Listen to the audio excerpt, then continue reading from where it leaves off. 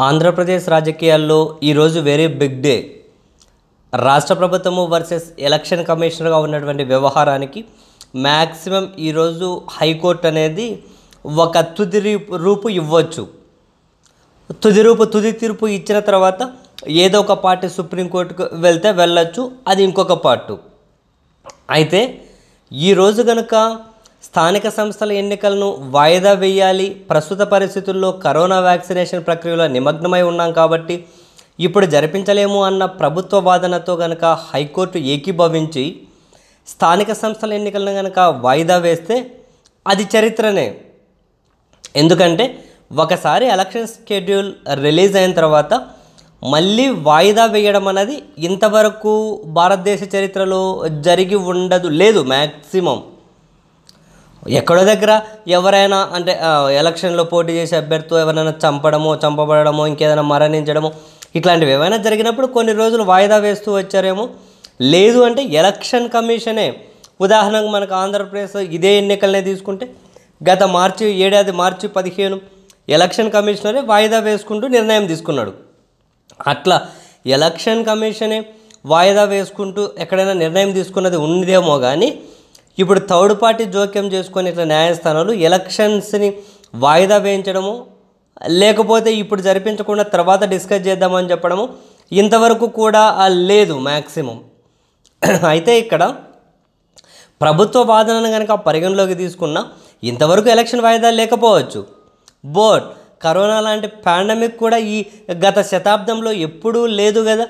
So అంత పెద్ద pandemic వచ్చింది కాబట్టి దాన్ని ఎదుర్కోవాల్సిన అవసరం ఉంది కాబట్టి దానికోసం అని చెప్పి ప్రభుత్వం అనేది తమ వాదన వినిపిస్తూ ఉంది. సో ఇంతవరకు కనుక స్థానిక సంస్థల ఎన్నికల్లో ఏ కోర్టులు జోక్యం చేసుకోలేదా అనే ఉద్దేశంతో బహుశా ఎలక్షన్ కమిషనర్ రమేష్ కుమార్ గారు కూడా ఒక విధమైన దూకుడు ప్రదర్శిస్తున్నారేమో ప్రభుత్వానికి వ్యతిరేకంగా ప్రభుత్వాన్ని మరింత రెచ్చగొట్టే విధంగా అని కూడా కొన్ని సంఘటనలు చెబుతూ ఉంటాయి. సో మొత్తం మీద అనుకుంటే ఎన్నికలు వాయిదా వేస్తే మాత్రం అది చరిత్రనే. అలా కాకుండా మేము జోక్యం చేసుకోలేము అని చెప్పి న్యాయ వ్యవస్థలు కనుక చెబితే తర్వాత ఏమవుతుంది అన్నది అది కూడా ఇంట్రెస్టింగే కారణం ఏంటి అంటే ప్రభుత్వం మేము సహకరించమని చెప్పేశారు. ఉద్యోగ సంఘాలు బహిష్కరిస్తాయని చెప్పేశారు.